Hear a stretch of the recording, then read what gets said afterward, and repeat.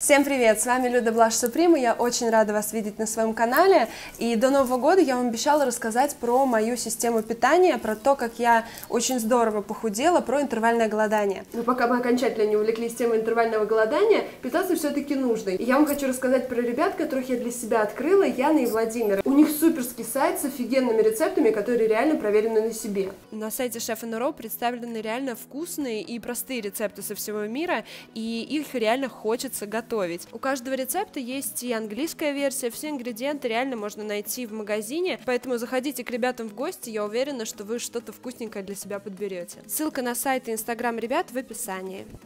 Я, насколько понимаю, что многим из вас эта тема очень интересна, тем более на дворе скоро весна, а после весны вообще пляжный сезон, поэтому долгое вступление делать не буду, сразу поехали. Интервальное голодание, что это такое и как как я на нем сижу. Начну с того, что признаюсь вам, что только после того, как я села на интервальное голодание, мой вес действительно сдвинулся с мертвой точки. Но опять же, пышкой я никогда не была. Я была вообще дистрофичным ребенком, я по сути не очень много ела, но после 25 лет, э, видимо, метаболизм как-то замедляется или еще что-то, я начала замечать, что каждая съеденная булочка откладывается не в тех, э, ну, не в нужных местах. И сколько бы я ни занималась спортом, не сидела на диетах, ничего по сути не помогало помогало. То есть я достигала определенной точки и дальше никуда ничего не двигалась. Для посторонних я всегда была худышкой, для себя в определенных местах совершенно нет. Внизу под этим видео я оставила вам ссылку на статью на лайфхакере про интервальное голодание. По-английски это называется intermittent fasting, э, как IF сокращение, либо прерывный пост, либо система аутофагии. Э, либо прерывный пост его еще называют. Я его называю интервальным голоданием. А, по сути, это схема питания, когда разрешено кушать только в определенные часы. То есть ты кушаешь либо 4 часа, либо 6 часов, либо 8 часов. А остальное время, когда ты не кушаешь, то есть это 18 часов, 20 часов, 16 часов, либо 2 дня, ты, по сути, э, ничего не ешь. Ты только пьешь воду, травяные чаи и кофе без молока, естественно, и без сахара. Как вы прочитаете в статье, э, в 2017 году в Кремниевой долине в США стало интервальным голоданием совершеннейшим трендом. Еще и после того, когда в 2016 году э, японец э, Асуми, простите, не могла вспомнить его фамилию, получил Нобелевку по медицине и физиологии. А, то есть, что такое аутофагия? Это когда живые клетки, хорошие клетки, как я их называю, избавляются от дефектных белков, э, и этот процесс запускается только после 9 часов голодания. Ну, опять же, давайте с вами так определимся, что сон входит в эти 9 часов голодания. То есть вы 9 часов не принимаете никакую пищу, и только после этого времени запускается процесс аутофагии аутофагии, то есть живые э, клетки начинаются питаться дефектным белком. Дефектный белок это то, что остается у нас от еды. То есть тем самым наш организм избавляется от накопившегося мусора, тот мусор, который уходит в попу, в живот, в ручки, все то, что нам не нужно. То есть когда наша живая клетка голодна, она начинает съедать вот эти дефектные белки, вот этот весь мусор э, более интенсивно, и она получает энергию именно от этих дефектных белков, то есть происходит процесс процесс жиросжигания. Ну, по сути, да, это то, что мы, к чему мы стремимся. Питаться, как я уже сказала, можно 16 часов голодания, 8 часов еды. Это я так питаюсь. Можно питаться 14 часов голодания, 10 часов еды. Это самый лайтовая, самая лайтовая версия, и с нее начинают многие. Я, кстати, начала сразу с 16-8. Можно питаться, вот как я сказала, по дням. По дням мне вообще не нравится, мне, меня устраивает по часам. В эти 8 часов я могу есть абсолютно что хочу, и это подтверждено теорией, подтверждено подтверждено моими результатами. Естественно, я не ем, не закидываюсь Макдональдсом, жирной пищей постоянно, но я могу себе чуть-чуть позволить хлеба, могу себе чуть-чуть позволить чего-то сладкого. У меня питаться получается с 9 до 17, потому что для меня утренний прием пищи очень важен, я не могу не завтракать. Далее, до, после 17 часов я, в принципе, не кушаю. Главное тут покушать где-то в 16.30, поэтому с собой на работу я беру какие-то салатики, что-то такое. Дальше, если дома дел никаких нету, мне достаточно сложно продержать держаться э, до 9 часов. После 9 мне вообще не хочется есть, даже если голодала я целый день. Но если есть дома дела, или там я хожу на спорт, или еще что-то, то вообще очень легко, и я заметила, что мои порции стали вообще гораздо-гораздо меньше. Что еще хотела сказать, что сама фраза «интервальное голодание» звучит гораздо серьезнее и красивее, чем смысл, который заложен в этом принципе питания. По сути, это не кушать после не кушать вечером, не кушать после шести, после пяти. Но в моем случае получается, что я просто не ем вечером.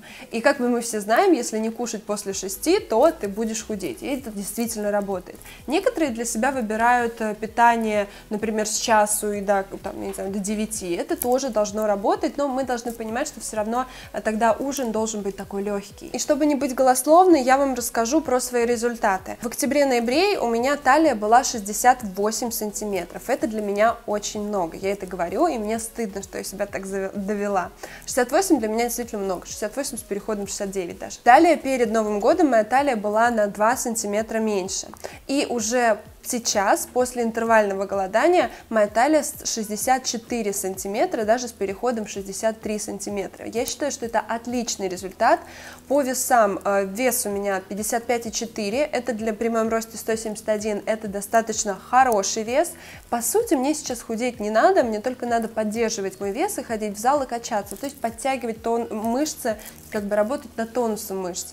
И я этому, этому очень довольна и говорю совершенно уверенно, что виной этому только интервальное голодание. Возможно, мои цифры вам покажутся совершенно незначительными, что я вообще не похудела, но кто боролся с лишним весом, особенно если у вас э, не так уж его много, ты застреваешь на каких-то минус 2 килограмма, ну тебе надо похудеть на 2 килограмма, и все, дальше ты никуда не двигаешься. Вот со мной именно это и происходило. Интервальное голодание, ура, мы победили эти 2 килограмма. Еще чем мне нравится именно такой принцип питания, тем, что ты можешь себе что-то позволить. Я ненавидела диеты, была совершенно злющей, когда на них сидела, всегда срывалась, не было ни одной диеты, чтобы я не сорвалась, именно потому, что вот такой у меня характер, что если мне что-то запрещаешь, мой организм требует это что-то. Я, например, не сладкоежка, но когда мне нельзя было по диетам есть там сахар, э, по шоколадке, я могла сорваться и сожрать эту шоколадку, хотя я вообще даже не очень-то и люблю шоколад. С интервальным голоданием такого нету, ты себе можешь действительно позволить, даже если вечером ты ничего не кушаешь, ты знаешь, что придет утро,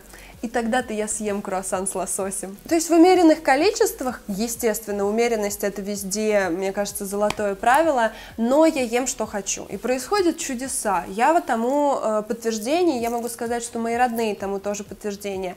А в моем окружении люди есть, которые на, э, начали питаться именно так, и тоже у них произошли результаты. Единственное, что тут важно, это постоянство. Нельзя 5 дней питаться интервальным голоданием, сидеть на интервальном голодании, а потом э, два дня обжираться в Макдональдсе по вечерам. Если, например, кстати, кстати, да, если я знаю, что я иду в гости вечером, э, обычно на выходных или еще что-то, и знаю, что я там буду кушать, то я позавтракаю, ну не позавтракаю, ну могу, могу, да, не позавтракать, так что там, не знаю, только легко пообедаю, и то там в 2 часа. Я как бы просто смещаю эти 8 часов. Эм, понятное дело, всегда бывают какие-то сбои, э, когда ты не предполагал, что ты пойдешь в гости или еще что-то, но это бывает редко, и я думаю, что если процентов на 90 выполняете вот этот принцип питания, то все будет замечательно. В общем, это крутая штука, поизучайте, почитайте, посмотрите, может быть, она вам тоже подойдет. Мне кажется, очень вовремя выпускаю я этот ролик, потому что нам всем уже пора начинать готовиться к лету, наконец-таки мы сможем носить красивую